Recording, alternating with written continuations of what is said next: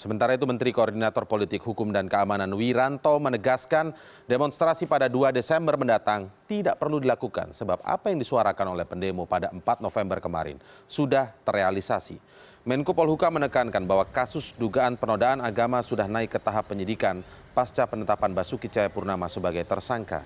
Wiranto meminta agar masyarakat mempercayai proses hukum berjalan independen tanpa intervensi apa pun Wiranto menilai rencana demonstrasi 2 Desember itu tidaklah tepat sebab proses hukum masih berlangsung dan tidak bisa diintervensi oleh pihak mana pun.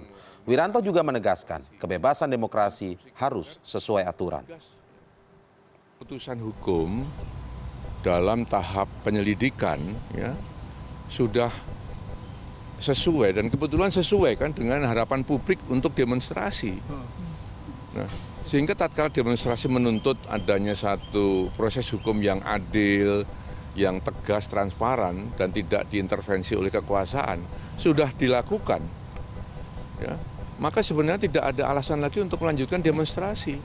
Ada ide untuk demonstrasi yang didemo apanya lagi itu.